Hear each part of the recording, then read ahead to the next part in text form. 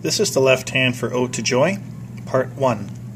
You're going to go from C to A and as far down as G. So here's the timing.